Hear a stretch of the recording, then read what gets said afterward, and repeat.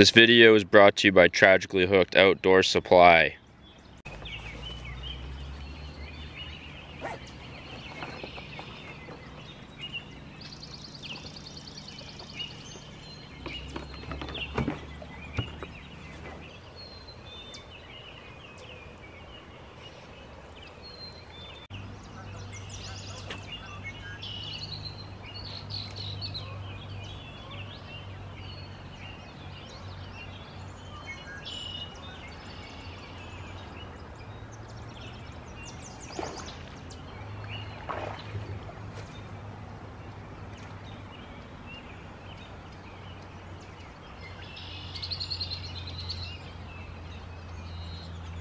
Didn't love that spot. A lot of uh, a lot of grass and weed getting caught on the jig. Ton of carp swimming around my feet and uh, a little school of garpike, which was interesting. But um, yeah, I just didn't love the spot. Not enough rocks, so gonna go try a spot two.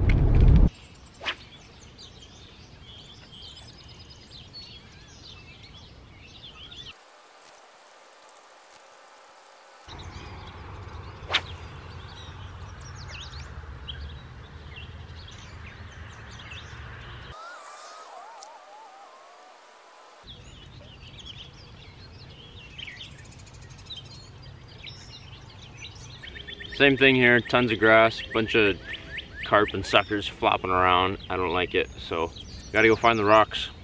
Spot three, a little bit more going on in the rock department. There's a pizza box on the ground behind the camera. There's carp jumping everywhere. But somewhere in there, there's a walleye. We'll get them. There's what we're fishing for the day. Try and get a better shot. Just a chartreuse jig with a uh, kind of minnow plastic there, made by Bondi Bait Co. I believe these guys are local, Ontario guys. It says fish food, not people food, bondibait.com, made in Canada. Cool, support local. Running into a darn recession here, folks, gotta support local. Anyways, yeah. hopefully they're good dudes though. If they're not good dudes, tell me, I'll stop using their baits. Bondi, if you want to sponsor me, let me know. Use your baits all the time. I need Bondi and Nike and Bass Pro, Cabela's. If we can get those three, that'd be nice. And Browning. There's a Browning rifle I want so bad.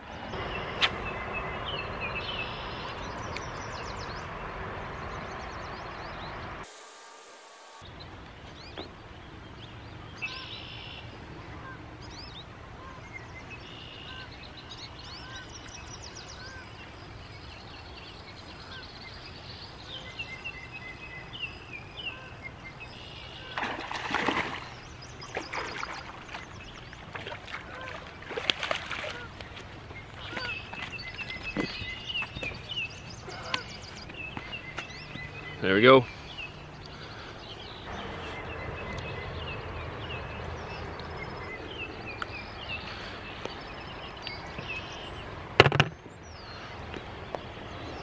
Not bad. I'm honestly holding on to him dear life because I don't want to drop it. In the cooler.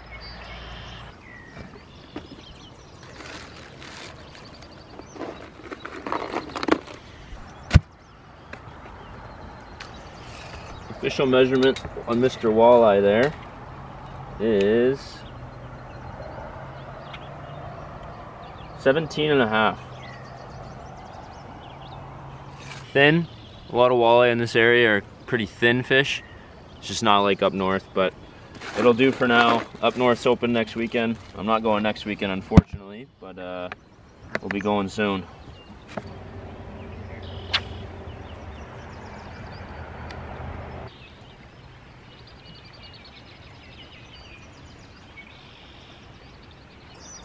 The water here is not as muddy.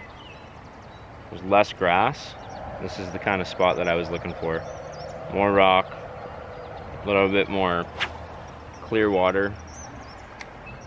A couple people fishing uh, a couple hundred feet down the river, but I think we got a good spot. I cannot wait to get up north and go hammer walleye and be in the woods. Zone 16 is a weird zone. A lot of people I've heard people call it a fish factory. People think it's like amazing fishing. Me being a walleye primarily a walleye fisherman. I don't, and I don't go on the Great Lakes. It's been tougher for me. The Great Lakes are, from what I hear, really good, uh, especially Erie. Erie in the spring apparently is amazing.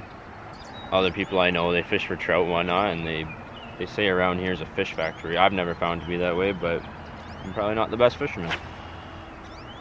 But in terms of the terrain in Zone 16, um, you know, mostly river systems, that's a big snag. Big snag. Um, you're mostly fishing river systems. There's a few small lakes that you usually have to pay to get into, which is crap.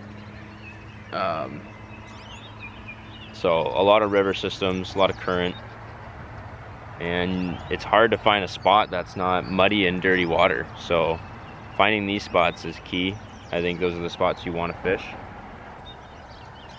Fish. My drag is too loose here. Feels all right. Another healthy eye. Come on, get in here.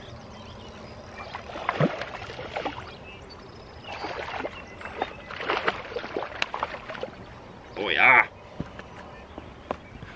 Another one. That one's a bit thicker. Decent. Obviously it's looking bigger when I hold it up to the camera guys, but we'll give it another uh, measure here. It's looking like about a 16. Not bad.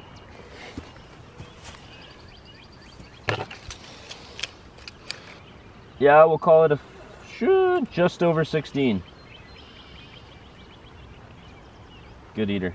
16 and a half.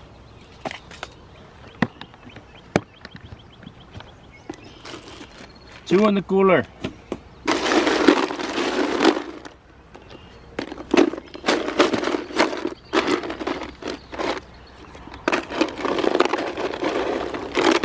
Frig, I didn't think I'd catch two fish today. I'm pumped. Even get two more.